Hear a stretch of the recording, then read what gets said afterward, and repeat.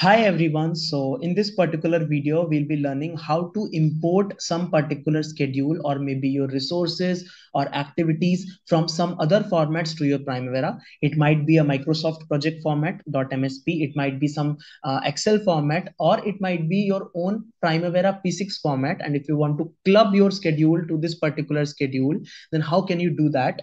So first of all, uh, we'll go to our file option and here you see the option called as import. You'll click on this import option. You can see that you can import these four formats only.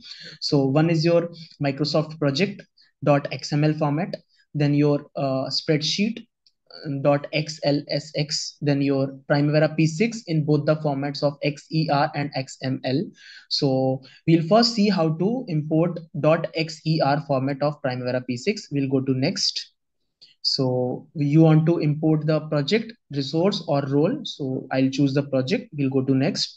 So we'll have to choose the file that we want to import. So I have saved one file in my uh, desktop. So you see here one file with ITC export. Okay, or maybe ITC Primavera export. We can uh, export any import anyone. So I'll choose ITC Primavera export and I click on open. So I'll go to next. So you see what you want to do, whether you want to create a new project with this particular file that you are importing, or otherwise you want to uh, add it into the existing project like it will get uh, appended in the project whatever activities and all you ha already have it will add the new project's activity to this or you want to update the existing project or you want to replace the existing project or you want to completely ignore this project. So we will create new project with this where you want to import this particular file so you'll have to choose an eps for this. So maybe we will do it in maintenance eps and we'll click on plus. Then we'll click on next. And you can change the uh, layout name. You can edit the layout also if you want by clicking on modifying what all you want to update what all you do not want to update like activity codes resources. And you can click on ok after modifying this. We are not changing the default settings so we'll go to next. And you are ready to import. If you click on finish, then your file will get imported. So you see some small, small windows popping. And our file has got imported it seems. And it says the import was successful. Okay? So to see the changes we need to go to projects tab. And in the maintenance you see now one new project with the name of it building construction which has 13 activities see i imported the same project on which we were working and now you see that the same project has just uh, got inserted into the maintenance EPS. So if you will open this particular project also, then you will see that the project will be just similar to the existing project with the same number of activities and everything will be same for this particular project. Okay, so we will go to projects and we will open our basic project once again. So this is how you can import the Primavera P6 uh, project into your system. Now we will go for importing something else. Maybe you can try for Microsoft project. If you have some Microsoft project, you can import that also in the similar fashion. It will get imported. There will be no change.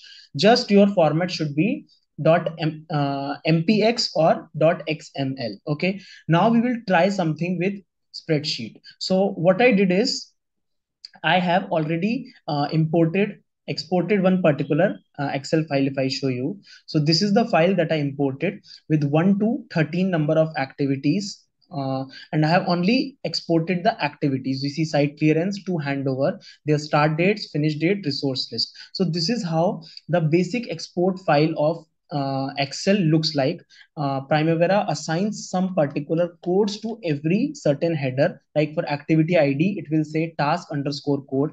Similarly, for WBS code, it will say WBS underscore ID. For activity name, it will say task underscore name. So if you want to import an Excel file to your Primavera, the very first necessity is you should have this row okay so all the items that you want to import should have the titles or the codes that Primavera uses to import. Because with this code only Primavera will uh, try to sequence in its own system. Okay so you should not delete this particular row. The only way to know these codes is you need to export some basic uh, your schedule from your primavera. Then only you will get to know that what is the code that primavera uses for certain headers.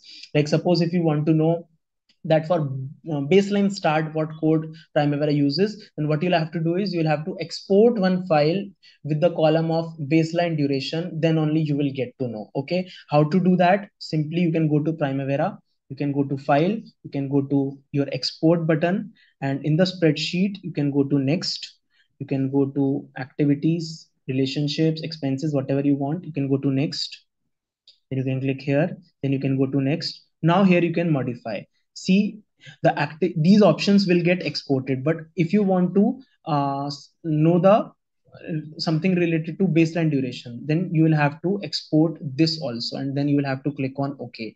Then in the exported file you will have your baseline duration. Then only you will get to know that what is the code for baseline duration and then only you can import your baseline duration. Okay so now what we will do we will try to import this particular file with some changes in it. Like what will be the changes? We will add one particular activity of 14, but you see that the format is changed. So if you want to bring it in the same format, then before this number, you will have to put one comma here, just that, and it will come in the same format. Okay. And duration we are assigning as four, or maybe we will type like this and we will put the activity name as completion. That's it. So this and all we want to import. But suppose if you want to delete a certain row from here like for example you don't want maybe brickwork then you can type small d here or capital d here. So it will delete this particular activity of brickwork from its data after importing and it will add this particular activity in your schedule. So now you can simply close this particular sheet. You see there is some user data also. You should not touch this user data because this is used by Primavera while importing. So we will close this file. Okay. And then we will try to import. We'll go to file. We'll click on import. We'll go to spreadsheet. We'll click on next. Now we have to choose the file that we want to import. So the file that we want to import is, we'll just check the name of the file. So it is ITC1 activities. So this is the file. So we'll click on open. We'll go to next we'll click on activities because we have only created activities in this particular file that we are importing. So it is only showing the activities tab. But suppose in the spreadsheet that you have created, you also have expenses, resources, then these activity, these particular items will also get highlighted. You can choose what you want to import. But right now we only have activities in that file. That is why we can only go for activities. So you can only update your existing project with the imported file. But where you want to import, so you can choose the project where you want to import. So we will import in ITC1, which is our current project. We'll go to next and we'll click on finish. So the import is successful. Now you see in this particular activity has got uh, appended here 14 number completion with duration 4 that we chose. But start and finish date since we did not choose any start and finish date it has assigned some random start and finish date to this particular activity. Also if you want to see then your brickwork activity i think which was your seventh number of activity has got deleted because we chose d for that particular activity. So this is how you can update your or import your spreadsheet schedule from that from your spreadsheet files you can do that for msp also. You can give it a try yourself. So that is all about importing the video. Thank you everyone